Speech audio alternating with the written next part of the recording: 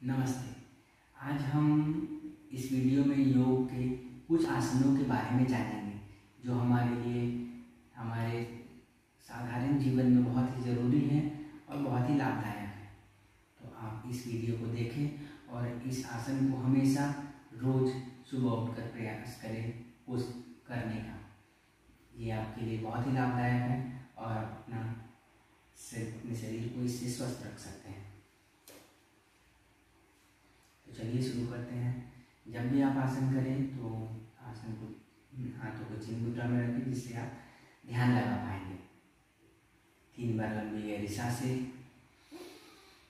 सांस लेना है। छोड़ना है। लेना है। छोड़ना है। लंबी साँसें लेना है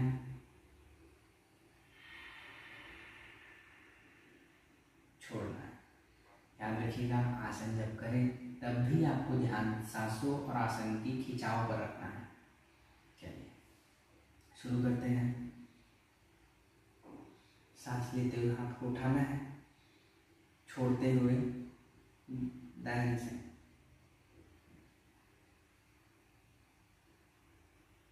होल्ड करके रखना है। पाँच से सात second. Five, four three two one याद रखिए आपका हाथ सीधी रहनी चाहिए फिर से सांस ही सांस लेना है छोड़ते हुए झुकना है फाइव ब्रेथ्स को नॉर्मल सांसों को आराम से लेना है छोड़ना है फोर थ्री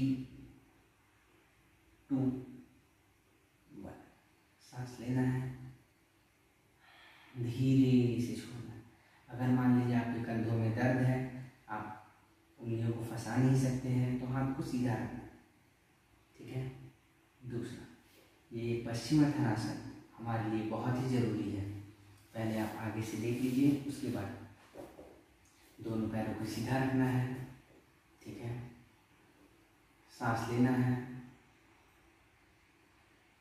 छोड़ते हुए झुकना है। याद रखिए, जितना हो सके उतना ही झुके। अगर आपकी पीठ पर दर्द है, थोड़ा सा झुके। अगर आप कर सकते हैं, उंगलियों को पकड़े उससे भी ज़्यादा आपको अगर पेन नहीं हो रहा है और आप झुक सकते हैं, आपको पैर के पंजों को पकड़ना है और धीरे से अपने चेहरे को, घुटनों पर सटा देना है। ठीक है? इसे आप दूसरी तरफ़ से देखिए दोनों पैर को हमेशा सीधा रखना है। आप झुके थोड़ा या ज़्यादा, इससे कोई मतलब नहीं है। आप झुके पीठ को सीधा रखें, पैर को सीधा रखें। सांस लेना है, छोड़ना है, रोक के रखना है। सांसों को आराम से लेते और छोड़ते रहना है। पाँच से सात सेकेंड रोक के रखिए five four three two one सांस लेना है छोड़ना है इसे अभी तो आप सिर्फ़ पाँच से सात सेकेंड करना है।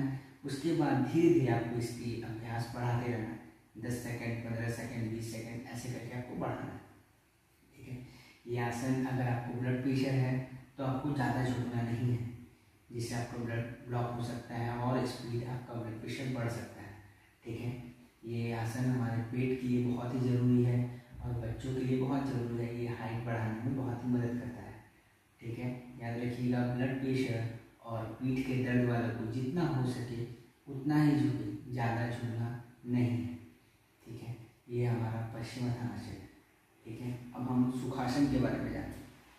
सुखासन में आप दाहिना पैर या फिर बाया पैर? दोनों में से एक पैर को आप चढ़ा देना है ऊपर और अगली पैर को नीचे रखना है। सुखासन। ठीक है? हाथों को सीधा रखना है। ठीक है?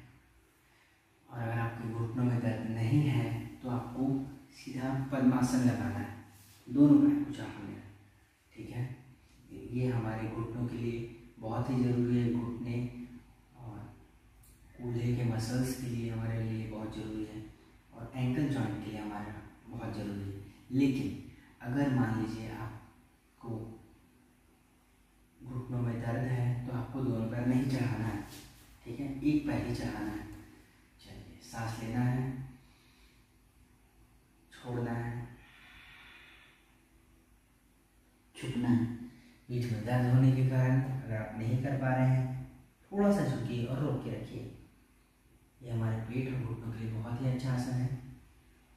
याद रखिए रखिएगा कोई भी आसन जितना हो सके उतना ही करना है, उससे ज़्यादा नहीं। पाँच से सात सेकंड आपको स्टे रखना है, रोक के रखना है। फाइव ब्रेथ्स को नॉर्मल साँसें एकदम आराम से लीजिए। फोर थ्री टू वन साँसें लेना है छोड़ना है ठीक है दोनों पैर को सीधा कर लीजिए अब बाया पैर को मोड़ दीजिए